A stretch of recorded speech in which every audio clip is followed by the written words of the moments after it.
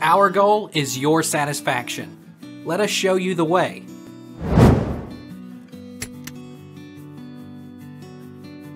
How do you get adhesive off fabric? To get sticker residue off fabric, pour some rubbing alcohol onto a cotton ball, and rub it into the old sticker. Use your fingernails to pry away the loosened paper, and then use another alcohol-soaked cotton ball to rub away the adhesive residue. Wash in the washing machine with detergent and launder as usual. How do I remove adhesive from clothes after washing? Use warm water and dish soap. Stick the shirt in the freezer for an hour to harden the glue, says Gwen Whiting, a co-founder of The Laundress.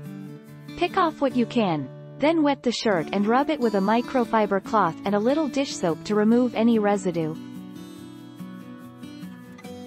How do you remove vinyl adhesive from a shirt?